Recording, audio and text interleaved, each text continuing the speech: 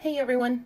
In this video, I will be using some Stone Coat Quick Coat resin to do a Petri dish technique experiment. Stick around for all the crazy things that happen. I'm Elisa with JOTZ Designs, and let's get started.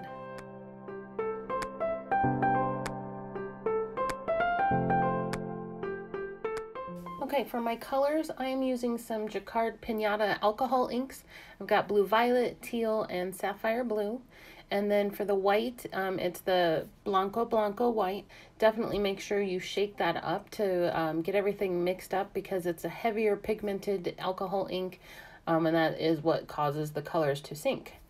Um, so I'm going to get the resin mixed up here. It's a one-to-one -one ratio resin and again it's a quick coat so it actually only really has about a 15 minute work time um, before it definitely starts setting up.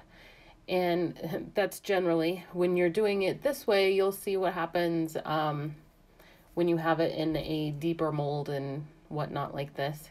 So I'm just getting that mixed up and um, because it's a thicker resin it is just riddled with bubbles as you can see and I expected that I just kind of wanted to see how the alcohol inks reacted in this quicker resin for the Petri technique, you drop um, a drop of color and then you're going to add a drop of white on top of the color. And again, because the white is a heavier pigment, it's what causes the color to drop in the resin. And um, I'm going to get it sped up here, but you're going to still be able to watch it because this is kind of the best part of doing alcohol inks in resin is watching them um, as they react to each other. And I will be back in just a little bit.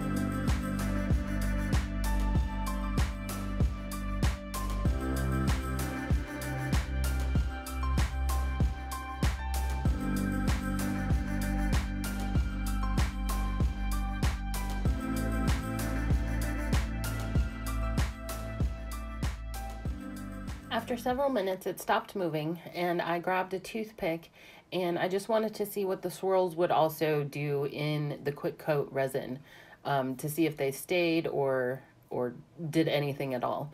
And then I grabbed some crusty parts out that I had no idea why they happened, but they did. And I was setting up for some other Petri dishes and I looked over and I saw that it was bubbling. So I thought I'd grab the camera and put it on here really quick.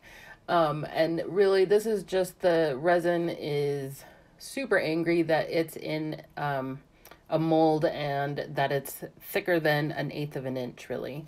Um, so it is curing quite quickly. Um, this overall took about two and a half minutes, and I've got this right here sped up to about four times speed.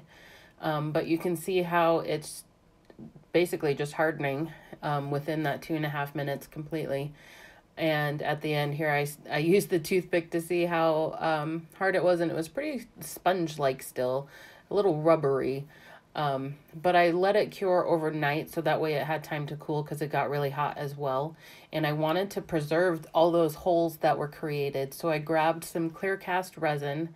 Um, it's the clear cast 7000 and I got that from the epoxy resin store and it's a one-to-one ratio resin, but you can do it by weight or volume. And I actually like measuring the resin by volume now a lot.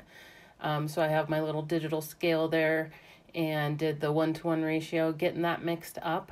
And then I'm going to pour it in. And because of all those holes that were created um, by the resin curing so quickly, there are a ton of bubbles. And I start with a toothpick trying to pick out all the little bubbles and then I was like, why am I using a wooden toothpick? Because I could also be creating more bubbles. So I grabbed some silicone paint brushes and kind of went to town on digging out those bubbles. Um, and then eventually I gave up and decided I wanted to put it in my vacuum chamber and um, pull out as many bubbles as I could. And in order for me to really do that, I needed to cut the piece off so it could fit. And the pressure is going down. Usually it goes down to about uh, minus 20, um, a little bit more usually. And it's just pulling all the bubbles out. Um, and it's really fun to watch too. And you can see it kind of drops really quick because I don't want the resin to overflow the top of the mold. So I release the pressure um, and it collapses the bubbles a little bit. And I do that several times until it eventually just kind of starts popping on its own, um, which is what it's doing right now. But this process took about a half an hour. And by half an hour, I, I decided to stop because it was moving pretty slow.